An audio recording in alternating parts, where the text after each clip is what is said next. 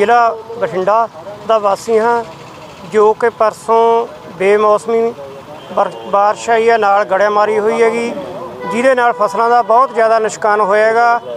ਅਸੀਂ ਸਰਕਾਰ ਤੋਂ ਮੰਗ ਕਰਦੇ ਹਾਂਗੇ ਵੀ ਸਾਡੇ ਨਗਰ ਦੀ ਜਿਹੜੀ ਫਸਲ ਆ, ਉਹ ਵੇਖ ਕੇ ਉਹਦੀ ਗਰਦੌਰੀ ਕੀਤੀ ਜਾਵੇ ਤੇ ਕਿਸਾਨਾਂ ਨੂੰ ਜਿਹੜਾ ਬਣਦਾ ਮਾਜਵਾ ਗਾ ਸਰਕਾਰ ਨੂੰ ਉਹ ਦਿੱਤਾ ਜਾਵੇ। ਸਾਡੇ ਜੀ 1000 ਕਿੱਲੇ ਦੇ ਏਕੜ ਗੜਿਆਂ ਨੇ ਤਬਾਹੀ ਠਾਤੀ ਸ਼ੇਰ ਵੀ ਦਾਣੇ ਹੈ ਨਹੀਂ ਜੀ। ਵੀ ਡੀਸੀ ਸਾਹਿਬ ਨੂੰ ਅਸੀਂ ਤੇ ਇਹੀ ਕਰਨਾ ਹੈ ਕਹਿਣ ਆ ਵੀ ਸਾਨੂੰ ਗਰਦੌਰੀ ਕਰਾ ਕੇ ਤੇ ਤੁਰਤ ਸਾਨੂੰ ਮਾਜਵਾ ਦਿੱਤਾ ਜਾਵੇ। ਕਿੰਨੀ ਫਸਲ ਬੀਜੀ ਹਾਂਜੀ? ਕਿੰਨੀ ਬੀਜੀ ਫਸਲ?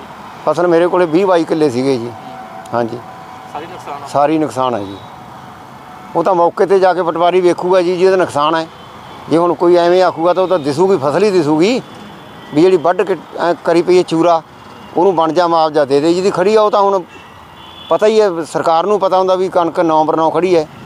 ਹਾਂ ਮੌਕੇ ਤੇ ਜਾ ਕੇ ਗਰਦੌਰੀ ਕਰਕੇ ਮੁਆਵਜ਼ਾ ਦਿੱਤਾ ਜਾਵੇ। ਪਰਸੋਂ ਮੀਂਹ ਤੇ ਗੜੇਮਾਰੀ ਨਾਲ ਸਾਡੇ ਬਾਜਕ ਪਿੰਡ ਦੇ ਵਿੱਚ ਬਹੁਤ ਜ਼ਿਆਦਾ ਨੁਕਸਾਨ ਹੋਇਆ ਜਿਹਦੇ ਵਿੱਚੋਂ 800 ਤੋਂ 1000 ਏਕੜ ਜ਼ਮੀਨ ਕਣਕ ਦੀ ਬਿਲਕੁਲ ਤਬਾਹ ਹੋ ਗਈ ਹੈ ਜੋ ਕਿ ਇੱਕ ਮਣ ਵੀ ਨਹੀਂ ਹੁੰਦੀ ਕਿੱਲੇ ਦੀ।